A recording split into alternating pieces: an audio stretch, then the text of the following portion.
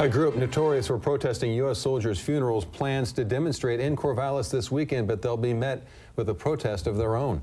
Thank you for joining us tonight. I'm Matt Templeman. And I'm Renee McCullough. Private First Class Cody Patterson died in Afghanistan two weeks ago. His service is Sunday, and the Westboro Baptist Church is scheduled to be there. And KEZI 9 News reporter Jessica Debus is live in the studio now with how the community is responding. And our top story tonight at 6 o'clock. Jessica.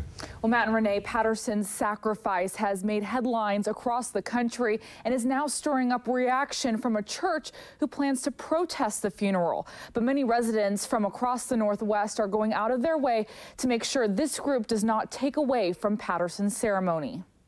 When news started circulating that a widely described hate group was making its way to Corvallis, it was pretty emotionally charged that they would be coming to our school, to our town um, that they would be a block away from my house. That's, that's not what we tolerate in Corvallis, especially not, not in our living room. That's not what this campus is about. That emotional reaction quickly turned into a community action. Several people, some who don't even know Patterson, started making plans. I started reaching out to other people in Greek life and fraternities and sororities, um, and the responses I got were overwhelming. Like, yes, of course I'll be there. Facebook groups formed, and RSVPs through social media promptly added up. We have over a thousand people who already say that they're attending the um, counter protests. The Westboro Baptist Church sent out a press release saying they would show up at the LaSells Stewart Center at 1:15 on Sunday to exercise its First Amendment right of free speech. But counter protesters know their rights too and plan to make sure Patterson's family is protected from any kind of hostility and harassment. So what we're asking is just um, for silence, for people to stand and be respectful of Cody,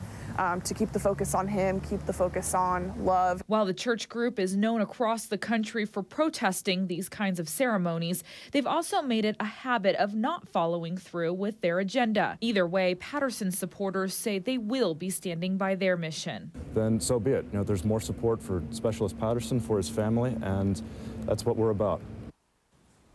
A group of motorcyclists called the Patriot Guard Riders say the family requested they be there on Sunday as well. The Patriot Guard says it's not a counter protest group, but are there to support and shield the family from any disruptions. Live in the studio, Jessica Devis, KEZI 9 News.